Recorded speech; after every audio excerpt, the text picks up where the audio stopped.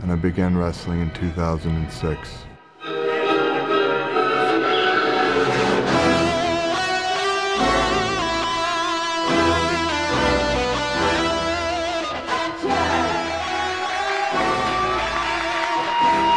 I'm not a sports entertainer. I entertain you with my sport.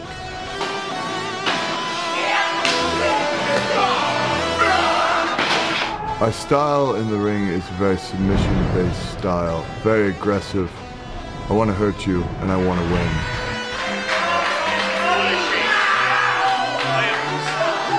My influences are men like William Regal, Fit Finlay, Billy Robinson, and Yuki Ishikawa of Battle Arts in Japan. They're men that are taken seriously and are feared and respected at the same time.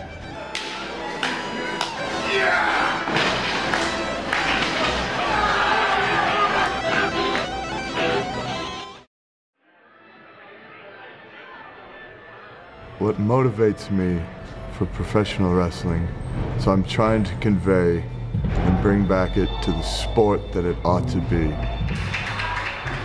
Evolve is different from other promotions because they showcase the fighting art and they symbolize the strongest of styles. And to be their champion is extremely important. Nowadays, professional wrestling is too many pretty boys, too many people that are more interested in being famous than are interested in being sportsmen.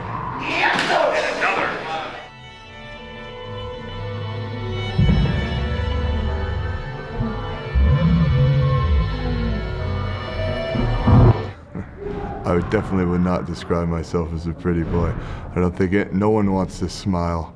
No one wants this crooked nose. No one wants this appearance. This is not from, I'm not trying to be a model. I'm not trying to be an actor. I'm trying to be a professional wrestler.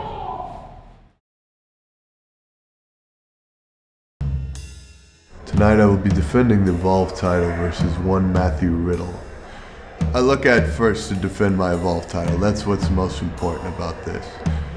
The payback is also in my mind.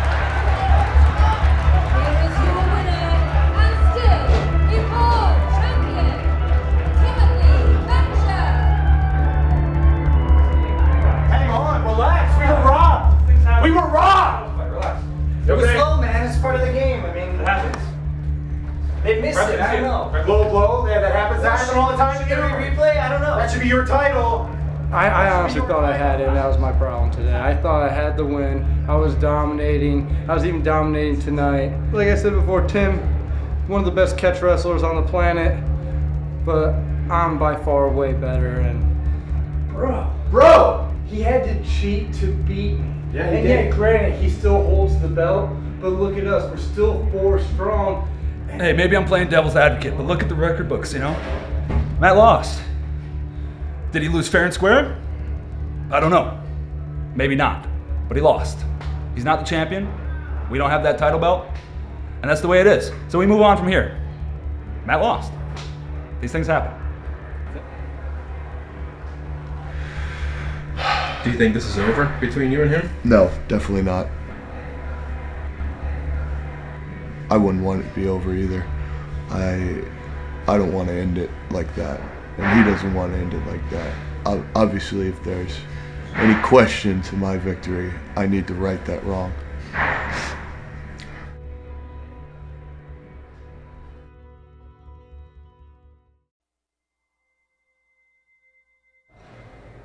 I'd rather be forgotten than remembered for giving in. I'm not a sports entertainer. I entertain you with my sport. My intent is to make people think of pro wrestling in a different way. No interest in fame or money. That is not the end goal. I will only be who I am. I don't care about being the main event. I don't care about being a star. I care about getting my point across. Anything that most people do in the ring, I do my best not to do. I want people to have genuine emotions about what I do. In a world where fans react a certain way because they are supposed to, I try for the opposite. I was going to be judged on my skills between the ropes alone. People could take it or leave it. I was to be in control. Gone was the cartoon character, pandering to the people, the talking. Gone was the personality. If people didn't enjoy it, then they could look someplace else. Seems like What do you want from me, Kenny? I've I've explained myself before. We don't we don't have to keep doing this. I explained it in front of you. I explained it in that ring. My actions are what it's gonna is what's gonna settle all this. My actions. That's all you need to pay attention. I'm, I'm tired of these words. Words don't mean anything. It's just actions. Timothy Thatcher feels it is not fit, and he is not deserving right now to hold this title. And that is why I am carrying, out of respect. Tim Thatcher says whoever touches this belt, he is going to hurt. Well, Matthew Riddle has held this title, and I am holding this title right now. And I don't see Timothy Thatcher anywhere out here acting like the man he should be. Drew Gulak, members of Catchpoint, and especially Matt Riddle, have all disrespected your title over the past couple of months. What are your thoughts on that? Uh, your thoughts on Matt Riddle? I think I've covered it enough, but you've seen what Merrill has done. He's a very disrespectful individual. And he needs to be taught a lesson.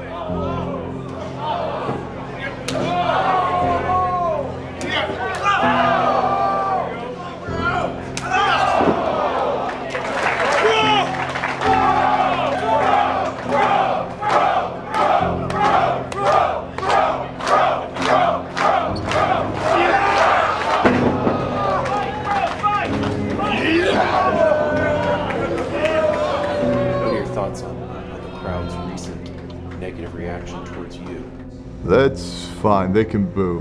Uh, they can do whatever they want. I'm fed up with anybody trying to tell me what to do and how I should do my craft.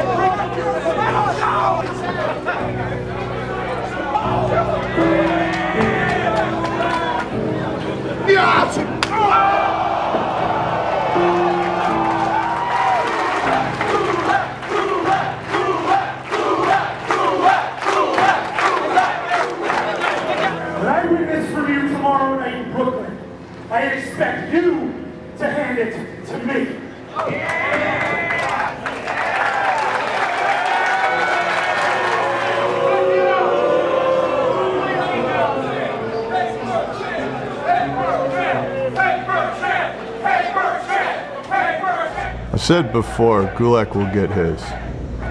And I mean that. Do you want to expand a little bit more on that? No. You'll see. You'll see.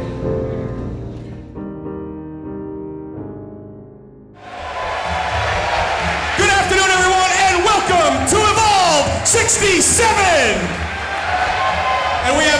Huge show tonight for you here at Evolve 67 as we make our return to Brooklyn. We've got a triple main event, and it is official. It will go down tonight. The Evolve Championship will be on the line as Drew Gulak challenges Timothy Thatcher.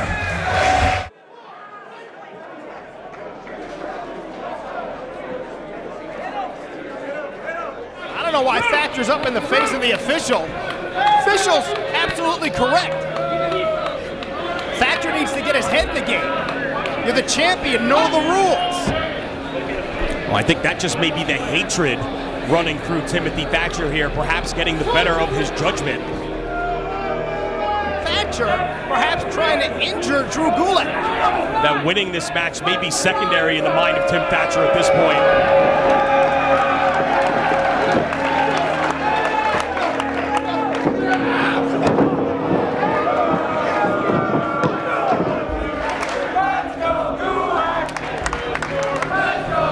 So these fans in Brooklyn are now getting behind Drew Gulak.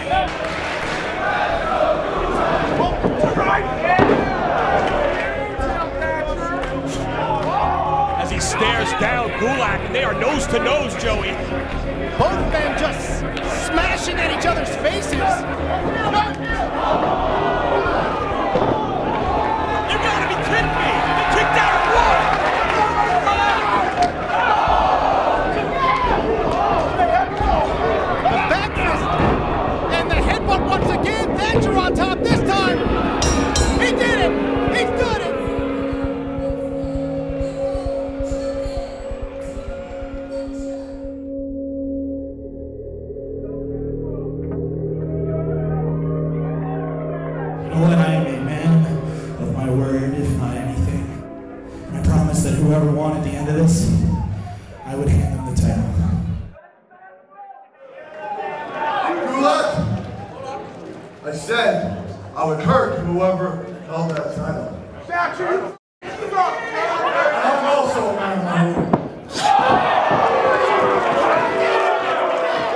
This is me. I'm the Evolved Champion.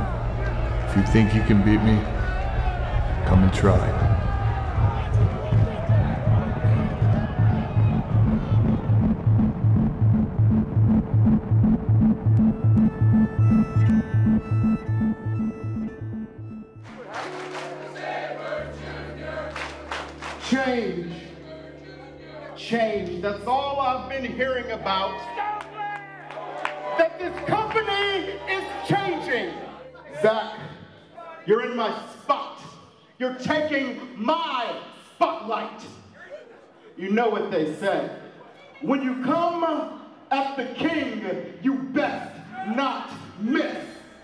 So, ladies and gentlemen, let me introduce you to your king. The man who is on his 595th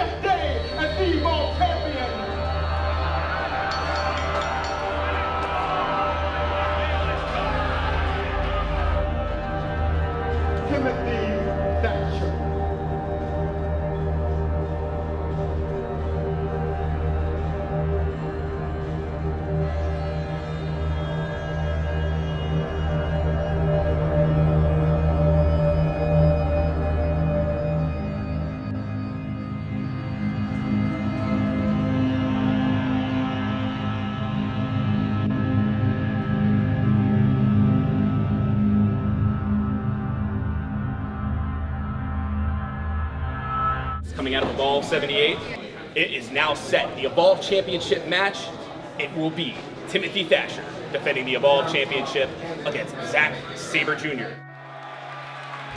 A lot of ask you guys, who thinks tonight is Zack Sabre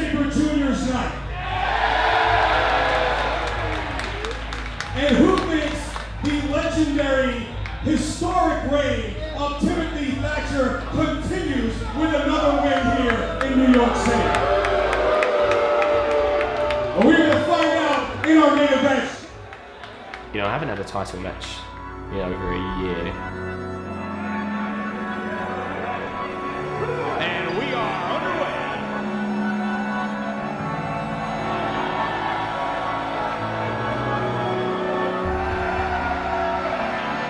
Fujiwara armbar.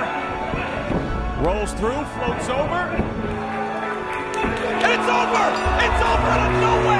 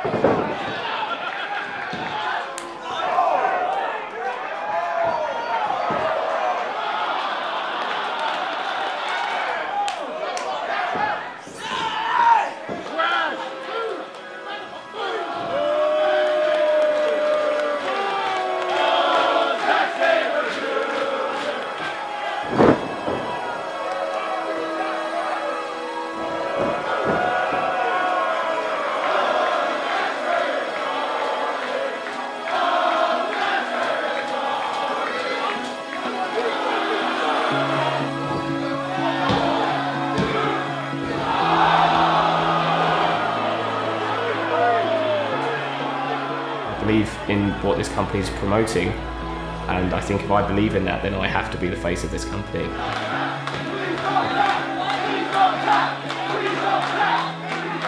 I feel like I know what I, need to do, I feel like I know what I want to do.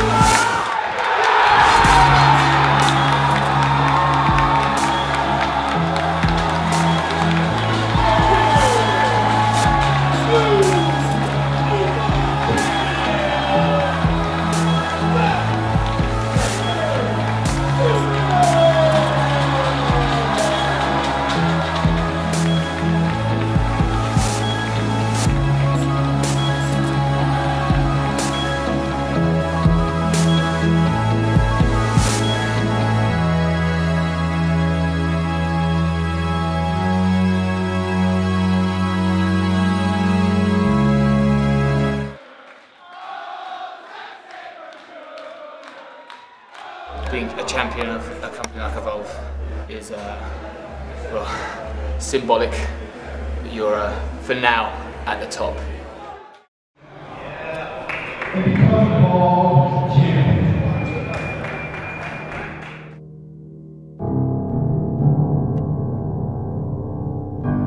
He takes copious amounts of punishment.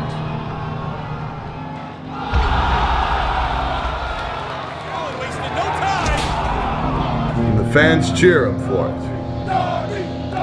Why? Because the fans like to see people get hurt.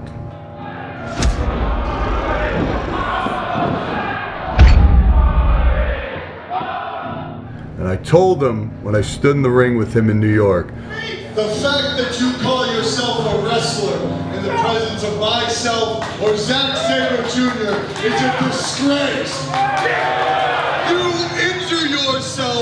For the pleasure of these people. And as soon as you stop doing that, they're going to stop caring about you.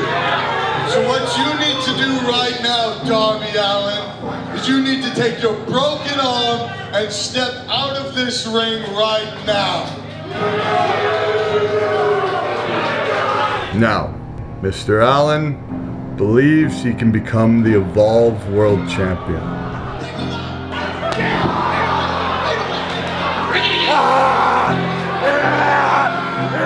I think you're setting your sights a little too high there, Mr. Allin.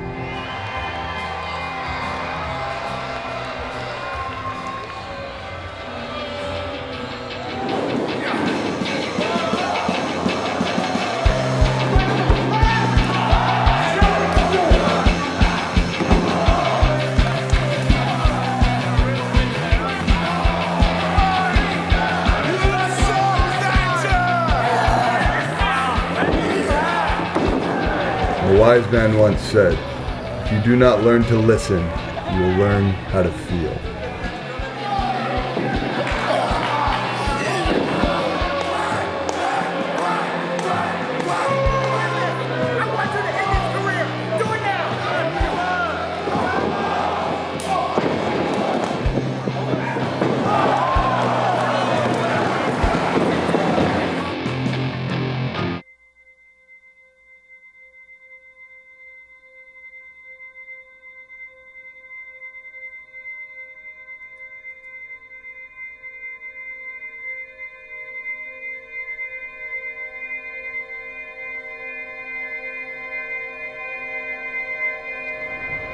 Nothing's over till you're underground.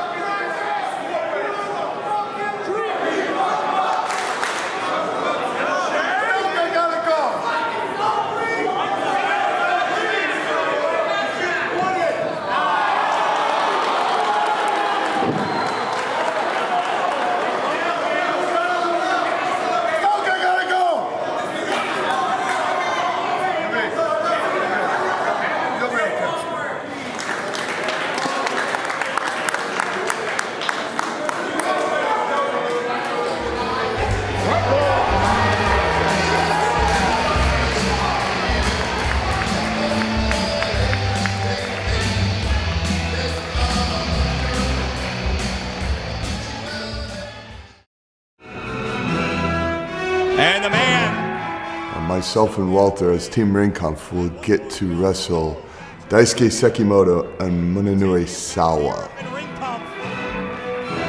Walter. When I heard about this match, I was very excited. Uh, I know Walter and Sekimoto have quite the history. Because Walter versus Daisuke Sekimoto and WXW in Germany, those matches were what made that company stand out and one of the main reasons why I really wanted to be there. For me, though, Mr. Sawa, that's incredibly important for me to share the ring with him. He was a battle arts student of Yuki Ishikawa. I wear this hat all the time, which is the Battle Arts Academy, which Mr. Ishikawa trains uh, students now in in Mississauga, Canada. That was very influential on me as a pro wrestler. Uh, to train under Mr. Ishikawa and the battle arts style was how I wanted to be as a pro wrestler. And Munenori Sawa was one of the first guys that I saw do it in America because he wrestled on Evolve 1 against TJ Perkins. And he wrestled at Evolve 5 against American Dragon Bryan Danielson. When I changed my wrestling style and started wrestling the way that I do was because of people like Sawa. And that's why I ended up here in Evolve, because if I wrestled the way I did when I started wrestling, I definitely wouldn't be here. For me to share the ring with him, he retired a long time ago after Battle Arts went out of business because he is also very passionate about how he wrestles. He believes battle arts style is the way it should be done. And so when battle arts went out of business in 2011, Sawa said it's not worth wrestling because, much like myself, the way we convey ourselves in that ring is incredibly important to us. And if we can't do it the way we want to do it, then why even bother? So I never thought I'd even get this chance. I don't have too many things left in pro wrestling that get me excited and that uh, I'm I really look forward to and that I feel I need to do still. But this tag match is one of those things and I very much look forward to the WWN Live experience in New Orleans coming up this year.